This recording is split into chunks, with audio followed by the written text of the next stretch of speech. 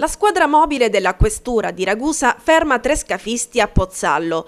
Nello specifico si tratta del tunisino Tara Baorumi, del marocchino Hassan Ismail, entrambi di 23 anni, e dell'egiziano Mustafa Ahmed, di 68 anni.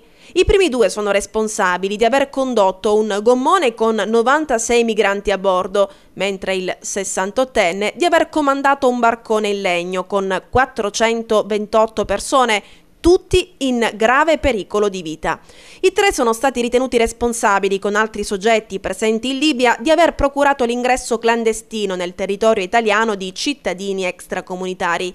Il delitto è aggravato dal fatto di aver procurato l'ingresso e la permanenza illegale in Italia di più di cinque persone perché è stato commesso da più di tre persone in concorso tra loro per aver procurato l'ingresso e la permanenza illegale delle persone esponendole a pericolo per la loro vita e incolumità ed inoltre per aver sottoposto queste persone a trattamento inumano e degradante.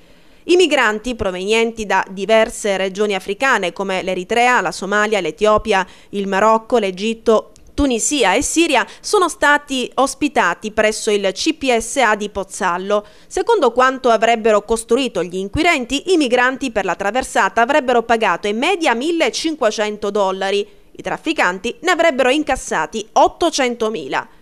Le indagini della polizia, svolte con la partecipazione di un'aliquota di carabinieri e della Guardia di Finanza, con un così alto numero di migranti, sono sempre molto complesse. Nonostante tutto, anche in questo caso, gli investigatori sono riusciti a individuare gli scafisti per entrambi gli sbarchi.